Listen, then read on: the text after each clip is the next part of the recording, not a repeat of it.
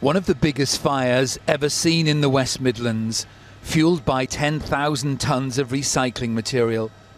At one stage, 200 firefighters were required to try to bring this massive blaze under control.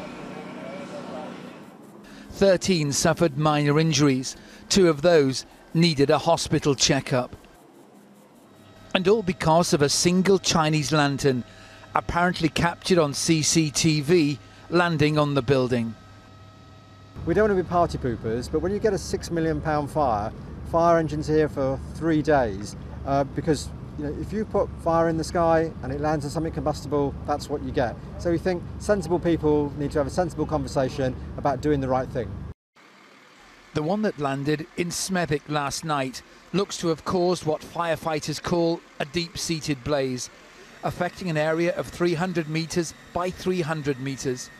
They've been working with diggers to try to cool down the core of the blaze. It could take a couple of days. The Chinese lanterns are often used for celebrations or to mark the passing of a loved one.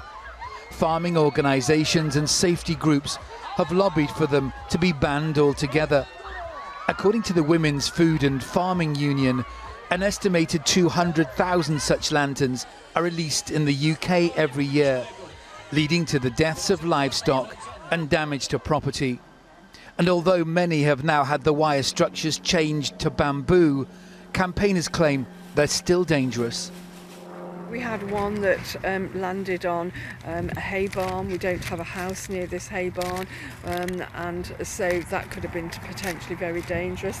My daughter and husband found one on the top of a petrol tank in Stone on Boxing Day, and you know, it, it's just we don't know where it's going to end. Despite efforts to make them safer, there's growing concern about Chinese lanterns. And if you look at the instructions, they're pretty restrictive.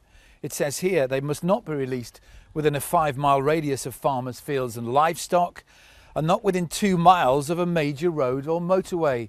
And apparently, you should also contact the Civil Aviation Authority to check airspace safety in your area. This is what one has been capable of causing. A swathe of industrial land in the middle of a major conurbation laid waste and still burning. David Crabtree, Sky News, Smethwick.